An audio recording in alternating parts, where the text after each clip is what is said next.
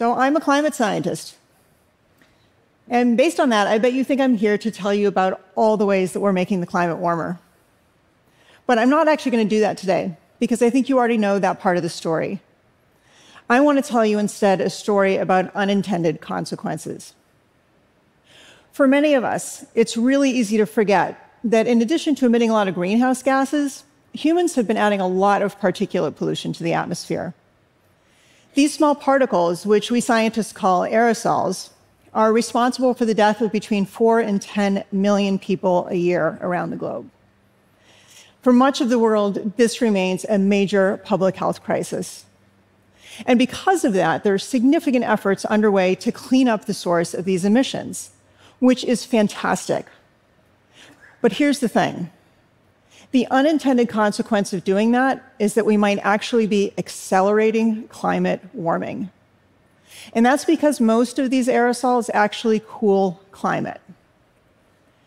I've spent my career as a climate scientist studying how aerosols in the atmosphere around the globe absorb sunlight in the atmosphere and increase the reflection of sunlight away from our planet. Aerosols directly scatter sunlight back to space, and when they mix into clouds, they can make clouds brighter or more reflective.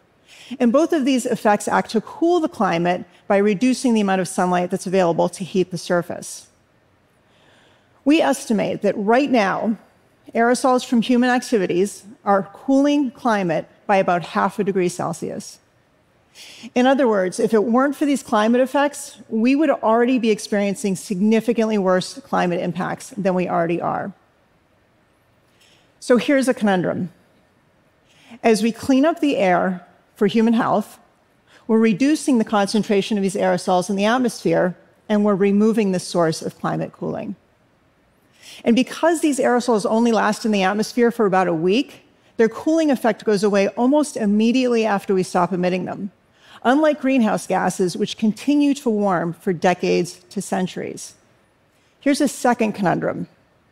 While our best estimate is that aerosols are cooling climate by about half a degree Celsius, this effect could be quite a bit smaller, or it could be a lot bigger.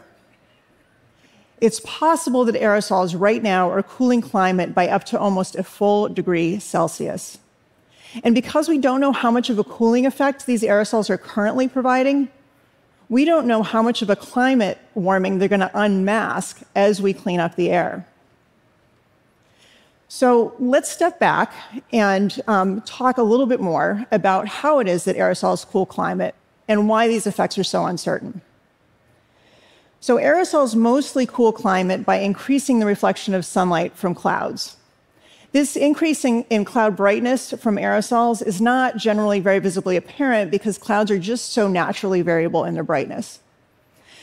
But a case where it is really visually obvious is in what we call ship tracks. So, what you're looking at here is a satellite image off the west coast of North America.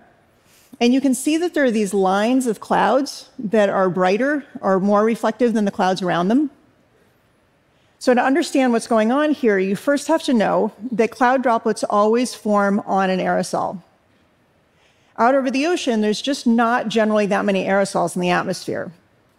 So, what you end up with is a cloud with a small number of larger droplets. Well, along comes your ship, and it's adding aerosols to the atmosphere and to the clouds.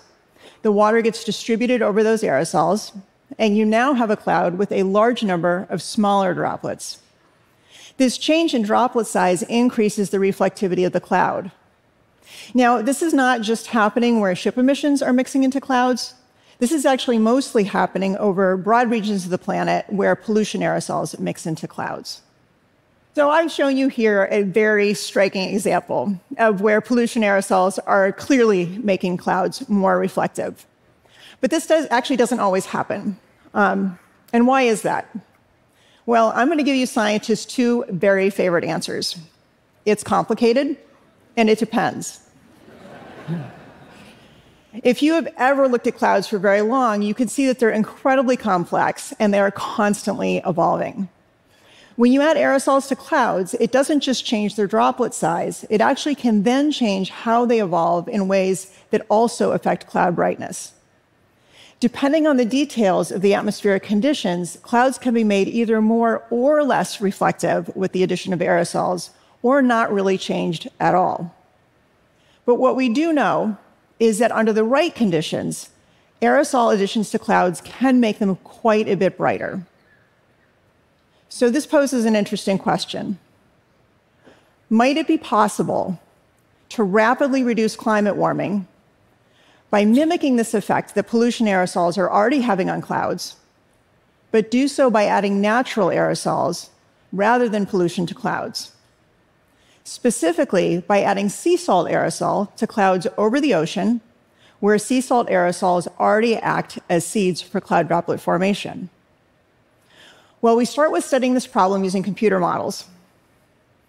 And when we add tiny sea salt aerosols to the clouds over the ocean in global climate models, we find that brightening just a fraction of the clouds over the ocean does, in fact, rapidly and significantly reduce climate warming from greenhouse gases. So these models indicate it is possible. But here's the problem. These global scale models used to study the climate impacts of marine cloud brightening lack the ability to resolve all of these detailed interactions between aerosols and clouds. So they can't tell us how much cloud brightening is possible or where. For that problem, we have to turn to models that cover much more localized areas of the globe, but that include many, many more details about aerosols, clouds, and how they interact. So, what we really need is better real world data that we can use to test and inform these models that we use to study marine cloud brightening. Now, with this problem, as with many problems in the world, the devil is in the details. Many of the most uncertain aspects of the potential for marine cloud brightening have to do with how really small scale air motions in clouds, we're talking over like a few square kilometers, respond to the addition of aerosols. So, being able to systematically study how clouds respond to aerosols over just like a single plume of aerosols over a small area of clouds could go a long way to improving these climate models. And I want to tell you today about a powerful approach that our team is developing to do just that. So, based on what I just said, you probably won't be surprised to learn that that approach is to add a single plume of sea salt aerosols to a small area of clouds over the ocean and see how those clouds respond. Basically, to make a single clean ship track. Now, the observations for studies like this would look a lot like those we've been doing for decades to study how pollution aerosols are already affecting clouds. Research aircraft filled with specialized instruments can be used to measure in great detail the atmospheric conditions, the aerosols, the clouds, and how they all vary. The difference between what we've done here in the past and what we would do with these new controlled aerosol studies is that we would be able to actually compare clouds that have different aerosol concentrations but that are otherwise the same. This would allow us to quantify where changes in cloud reflectivity are actually being caused by the aerosols rather than just varying due to other factors. Now, it turns out that generating the sea salt aerosol plume with the right characteristics for doing these controlled aerosol studies is a significant technological challenge. The aerosols need to be just right. To date, no one has demonstrated the ability to generate both the size and quantity of aerosols you would need to do these studies, where you would consistently and appreciably brighten marine clouds. As a climate scientist trying to better understand how aerosols affect clouds and climate, I am really thrilled to be part of a team that is developing a new instrument to meet that challenge. Our new cloud aerosol research instrument is specifically designed to generate a very large number of very, very tiny sea salt aerosols. These aerosols are about a thousandth the width of a human hair, because that's the size that's ideal for marine cloud brightening. I'm also really excited to be able to tell you that we've just started our first scientific studies with this instrument. This happened just two weeks ago. We've set up our new coastal atmospheric aerosol research and engagement facility on the flight deck of the USS Hornet Sea Air and Space Museum in Alameda, California. So, on the Hornet, we are making observations at multiple locations along the flight deck of the sea salt aerosol plume that is being generated with our new instrument.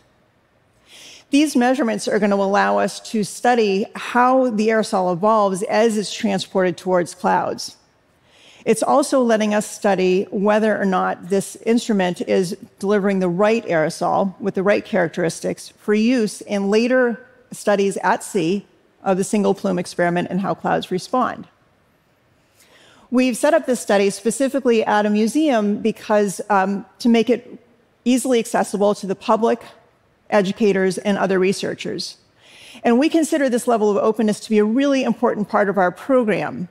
And that's because we're hoping that the work at the CARE Research Facility can be the start of broader international engagement in this research, particularly by our colleagues in historically marginalized communities who are the most vulnerable to climate change.